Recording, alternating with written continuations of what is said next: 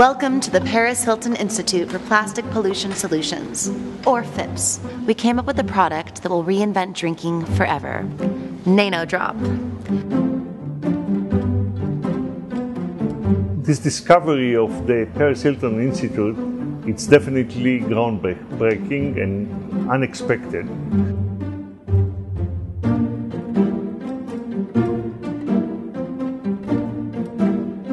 In our field, it's always important to evaluate and to check things. And here comes the Weizmann Institute. We hope that we will be able to check the discovery, to evaluate it, if it's so important as we think. It's going to change our lives in so many ways.